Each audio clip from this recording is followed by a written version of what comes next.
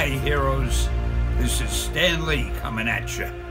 Want you to know, Marvel has always been and always will be a reflection of the world right outside our window. That world may change and evolve, but the one thing that will never change is the way we tell our stories of heroism. Those stories have room for everyone, regardless of their race, Assemble. gender, religion, or color of their skin.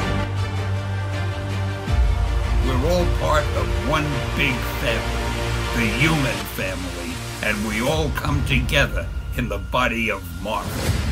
And you, you're part of that family. Excelsior!